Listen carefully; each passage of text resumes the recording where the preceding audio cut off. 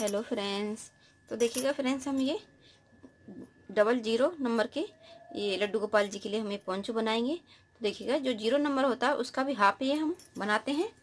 तो ये हमने दो कलर से बनाया, देखिएगा पोंचो और इसे बनाने के लिए हमने टेन नंबर सिलाई ली है और दो कलर लिए ब्लैक कलर और ऑरेंज कलर तो एक पार्ट हमने बना लिया है। और देखिएगा दूसरा पार्ट बनाते हैं। तो दूसरा पार्ट बनाने के लिए हम सिलाई में फंदे डाल लेते हैं। इस तरीके से देखिएगा, दस फंदे डालेंगे। गले के बॉर्डर से इसको स्टार्ट करेंगे। इस तरीके से।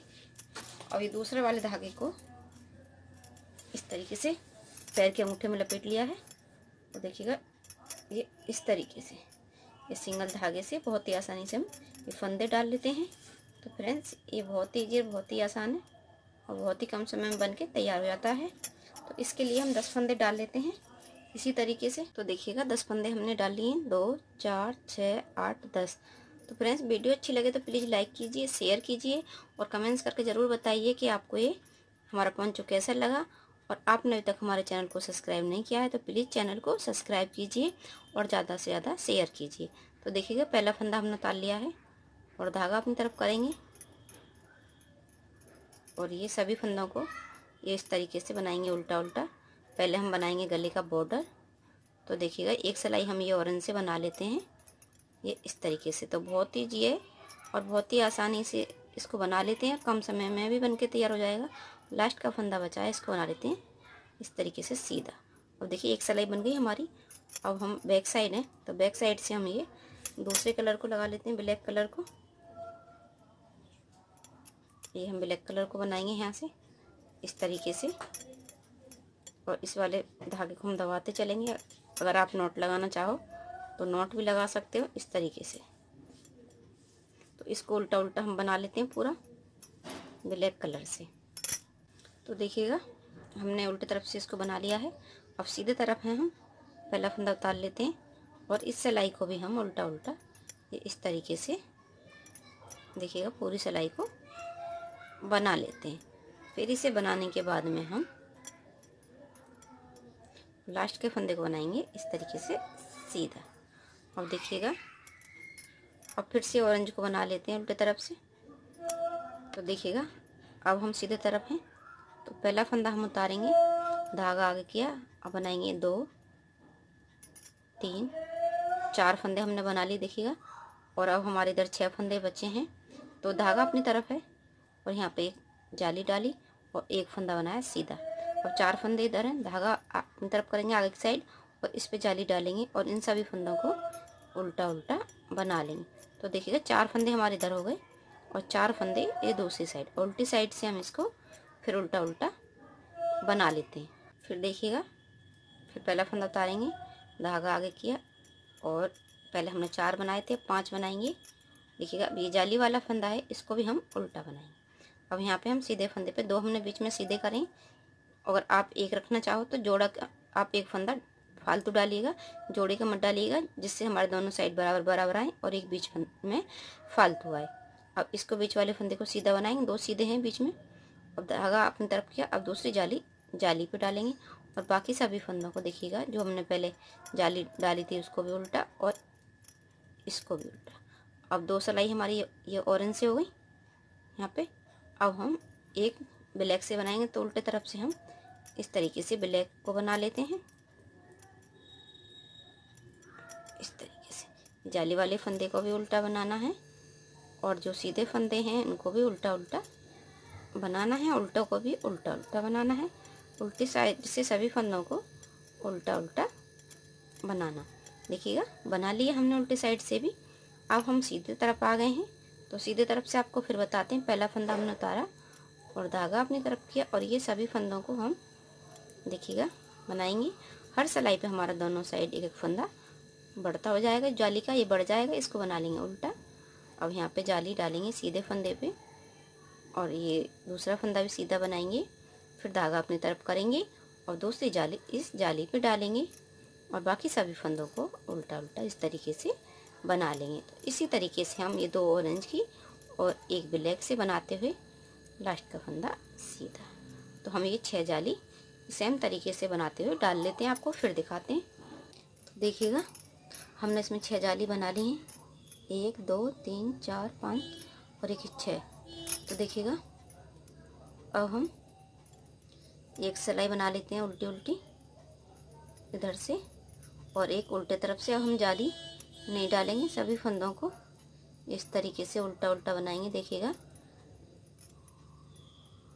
यहाँ पे जाली वाले फंदे को भी उल्टा बनाएँगे और जो हमारे ये सीधे फंदे दो, इनको भी इस तरीके से उल्टा हमने बना लिया। तो पूरी सिलाई को बना लेते हैं और उल्टे तरफ़ से भी एक सिलाई उल्टी उल्टी बना लेते हैं। तो देखिएगा, हमने बना ली है उल्टे तरफ़ से और एक सीधी तरफ़ से एक सिलाई। पहला फंदा उतारा और दूसरा फंदे को बनाया और धागा अपनी तरफ़ ही है। अब दो फंदों को हम एक साथ बनाएँगे जाली डालते हुए। यहाँ पे ये बनाएँगे हम इस तरीके का हॉल, देखिए। फिर धागा अपनी तरफ़ किया यहाँ पे फुन्ने बनाने के लिए, क्योंकि हम फुन्ने अलग से बांधेंगे तो उठे उठे रहते हैं। यहाँ पे हम डाल के धागे को फिर फुन्ना बांधेंगे तो दो फंदे हम बनाएँगे उल्टे, और दो फंदों पे हम इस तरीके से ये देखिएगा, जाली डालते हुए इस तरीके से। धागा अपनी तरफ़ है, दो का एक करते हुए, और एक फंदा हमारी जाली से बढ़ जाएगा। तो इसलिए हम ये पूरी में ये वाला डिज़ाइन बना लेते हैं, और उल्टी तरफ़ से एक सिलाई उल्टा उल्टा बना लेंगे। तो देखिएगा, हमने बना लिया है तो अब हम यहाँ पे एक सिलाई हमारी ये हो जाएगी। दो फंदों को एक साथ बनाएँगे। फिर वापस से सिलाई में डाला, जो एक फंदा बचेगा, फिर दो फंदे एक साथ बनाएँगे, फिर वापस से सिलाई में डाला तो एक सिलाई हमारी बन के कंप्लीट हो जाएगी। तो इस तरीके से हम सभी फंदों को बंद कर देते हैं, देखिएगा। तो फ्रेंड्स बहुत ही, ये बहुत ही आसान है, और कम समय में बन के तैयार भी हो जाता है। देखिएगा, और हाफ़ ज़ीरो वालों को, जैसे ज़ीरो से भी छोटे होते हैं, उनको बड़े अच्छे से ये फिट हो जाएगी, क्योंकि आजकल बहुत छोटे छोटे लड्डू गोपाल जी चल रहे हैं। ज़ीरो नंबर से भी बहुत छोटे छोटे से। इसलिए हमने छोटा सा पंचू आपको बना के दिखाया है। तो देखिएगा पंचू तो हमने बंद कर दिया इस तरीके से। अब हम ऐसे ऊन को लेंगे, ऐसे, देखिए, दो बार फोल्ड किया, तीन बार। और ये चार हो गए हमारे। इस तरीके से इसको फोल्ड करेंगे। ये इस तरीके से, देखिएगा। हमने इसको आठ बार फोल्ड कर लिया है। इस तरीके से, इस तरीके से। अब इसको हम ऐसे करेंगे। और जो हमारा ये वाला हॉल है, देखिएगा। हमने इसलिए हॉल बनाया इसमें। आप छेद वगैरह भी बोल सकते हो। तो जाली डाल के इस तरीके से हम इसमें ये बांधेंगे इसको। तो ये अच्छे से सेट रहेगा। नहीं तो ये उठा उठी से रहते हैं फुलने। और ये इस तरीके से रखेंगे। और यहाँ से इस धागे को इस तरीके से, दूसरे धागे से ये नॉट लगाएँगे। ये इस तरीके से।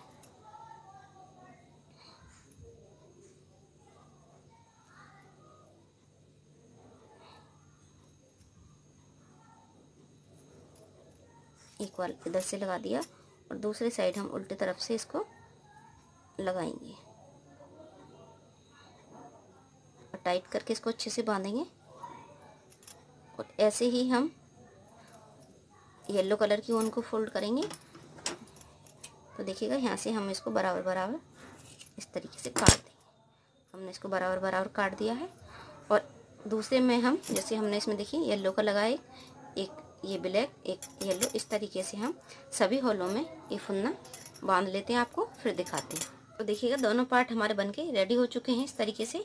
तो आप इनको ऐसे भी रख सकते हो, और देखिए, इधर से ये वाला हमारा सीधा है, और ये वाला इधर से सीधा। तो सीधा हम अंदर की साइड रखेंगे दोनों को, और उल्टा हम, देखिए, इधर भी हमारा उल्टा है, और ये नीचे की साइड भी उल्टा है।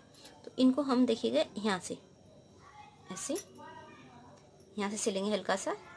जैसे शोल्डर होता है उस तरीके से, इस तरीके से यहाँ से।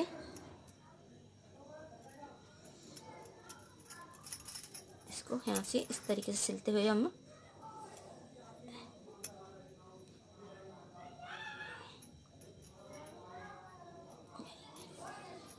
कलर से कलर मिलाते हुए यहाँ तक सिल लेंगे इसको।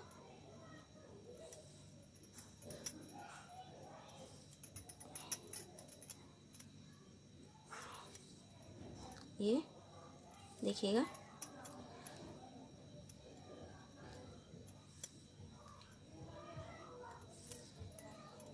जहाँ तक हमने फुंदा लगाए लगाए यहाँ इसको लास्ट करेंगे। इस तरीके से। एक साइड से सिल गया। अब हम दूसरी साइड से भी सेम तरीके से इसको सिल लेते हैं। तो देखिएगा, इसको हमने सिल दिया है। इस तरीके से हम इसको नेक में डाल देंगे। ये ज़ीरो से भी छोटे लड्डू गोपाल जी का है। हम इसको आपको बार बार बता रहे हैं। इसलिए हमने इसको छोटा सा बनाया है और ये इस तरीके से, देखिएगा, फैला फैला आ जाएगा। तो फ्रेंड्स, बहुत ही, ये बहुत ही आसान है और देखिएगा, बनाने में बहुत ही कीजिए और देखिए बनने के बाद में कितना सुंदर लगता है। तो फ्रेंड्स, वीडियो अच्छा लगे तो प्लीज़ लाइक कीजिए, शेयर कीजिए और कमेंट्स करके ज़रूर बताइए कि आपको हमारी वीडियो कैसी लगी और आपने अभी तक हमारे चैनल को सब्सक्राइब नहीं किया है तो प्लीज़ चैनल को सब्सक्राइब कीजिए। वीडियो अच्छी लगी तो प्लीज़ वीडियो को लाइक कीजिए। तो फ्रेंड्स, मिलते हैं अगली वीडियो के साथ, तब तक के लिए बाय बाय